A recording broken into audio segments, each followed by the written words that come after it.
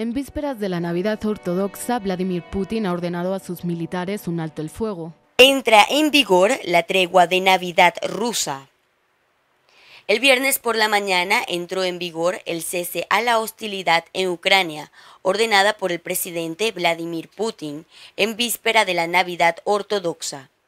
Rusia tiene la intención de conservar la tregua durante 36 horas, desde las 12 hora local del 6 de enero hasta la medianoche del 7 de enero.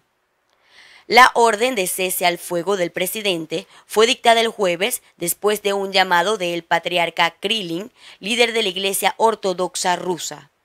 Hacemos un llamado a la parte ucraniana para que proclame el cese de las hostilidades y les dé la oportunidad de asistir a los servicios de Nochebuena y de Navidad en unas declaraciones del Kremlin leídas por el portavoz. Mientras tanto, Denis Pushilin, líder interino de la República Popular de Donetsk, declaró sus tropas no llevarían a cabo ninguna acción ofensiva durante la tregua, al tiempo que no dejará que ninguna provocación ucraniana no se rinda sin respuesta. Las fuerzas rusas no le permitirán al enemigo cualquier oportunidad de utilizar las horas de vacaciones para mejorar sus posiciones a lo largo de la línea de contacto, añadió. Para Global 80, Bárbara Maoli.